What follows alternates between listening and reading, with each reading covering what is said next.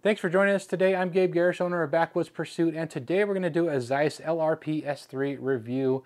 We're going to take a look to see if this is one of the best Zeiss hunting scopes you can pick up, or if you're better off going with something like the Conquest V4, which is going to be a lighter weight option. We're going to go through some of those specs and details, why you might pick this scope and why you might not, and see if it's going to fit your needs. Always appreciate it if you hit that subscribe button and follow us on Facebook and Instagram. Put links to those down in the description, as well as a link to our website, backwoodspursuit.com. A bunch of gear reviews over there, so definitely go check out the website. Let's get started.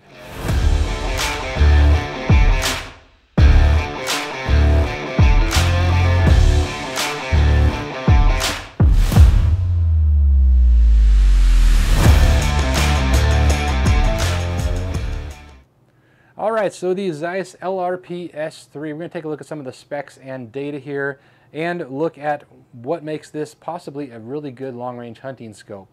So the, the magnification range here on this one, this is the 4 to 25 by 50 model, also comes in a 6 to 36 by 56, so that's a super long range type of a scope, but even this one here is gonna get you farther than most hunting situations that you're ever gonna need but it does allow you to use this in up close situations being that it offers 4x on the minimum range but also can take you up to that 25x when needed. Now one of the downsides that you typically have with these long range type of scopes is the weight and that is the case here with the LRP S3. It comes in at 36 ounces, just over 36 ounces and the larger model, the 6 to 36 by 56 comes in at just over 39 ounces. So certainly not a lightweight type of a scope. So if you're building a lightweight rifle, you can steer away from this because it's not going to accomplish what you're looking for. But if you're okay with a little bit extra weight here, you get an incredible amount of elevation adjustment and incredible scope. The elevation adjustment on this model, this being the 4 to 25 by 50, gives you 160 minutes of elevation or 46 and a half MRADs.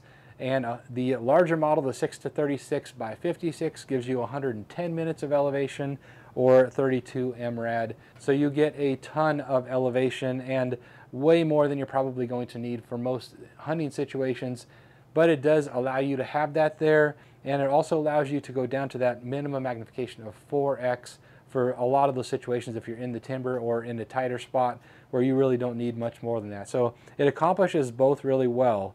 Now both of these are first focal plane scopes whereas that Conquest V4 is a second focal plane.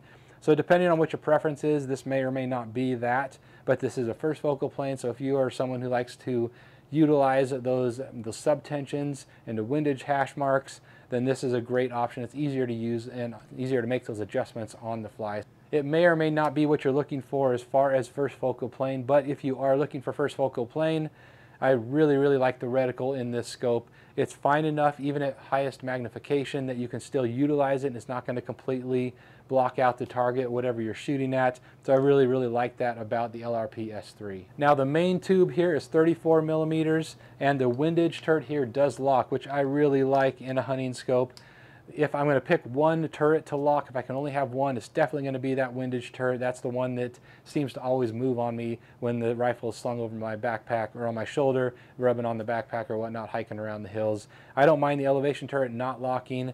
It is kind of nice when it does, but I really don't mind it because it's not one that gets moved all that often. And the clicks that you get here with this LRPS3 are really nice and defined, very tactile and very defined. So I really, really like that about the LRPS3. The, the turrets are on the large side, certainly. They're larger than most hunting scopes. So you may have the cartridge here when it's ejecting that the brass, you may have the hit on the underneath, underneath side, depending on how high you've got the scope mounted and whatnot. But it's uh, certainly larger on the turrets than a lot of your hunting scopes. So keep that in mind. Just makes the overall package a little more bulky and of course a little heavier which is why this is, may or may not be something that you want to see as a hunting scope. But for me personally, on this type of a build, I don't mind a bigger, heavier scope because this is the build that I'm looking at for a longer range situation for an elk hunt that I have coming up where the ranges can really extend out there quite a ways. So in this case, I don't mind it. If I'm building an ultralight type of rifle, that's a different story possibly, but this can be a fantastic long range hunting scope. Now I've had this out at the range about a half dozen or more times, getting a load developed for this rifle, getting this thing dialed in and ready for that late season elk hunt that we've got coming up. So I'm very confident with it now. Now the LRP S3 does have a parallax adjustment here. You kind of expect that in a scope of this caliber, but it is nice and smooth. And then you also have an illuminated reticle. Now one unique thing about this scope is that you have the option of either a green illumination or red illumination. That's nice for various lighting conditions you might find yourself in. And the, the illumination is set up so that every other click is on and off and increases or decreases the intensity of that color depending on which direction you're turning the knob. As you can see here, the illumination is currently set too high and that light for the illumination is cascading throughout the entire reticle. So if you see this, you know your illumination setting is too high. So go ahead and back that down a couple of clicks until you see just the center of the reticle illuminated, getting pretty close there. One more click down and we're about where we're supposed to be. So if you see that illumination starting to spread throughout the entire reticle, you know that is too high. That's not really the way it's designed. It's designed to have only that center be illuminated.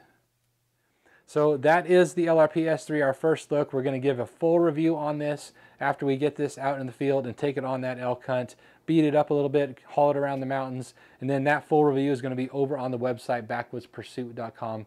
Definitely stay tuned and check that out.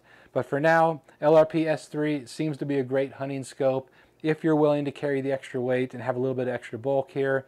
So obviously if you're not doing a lightweight type of a build, this is a fantastic scope with excellent optics and a ton of elevation adjustment if you want and need that. Drop any questions or comments for us. We'd love to help you out if we can. Thanks for watching here today and we will see you next time.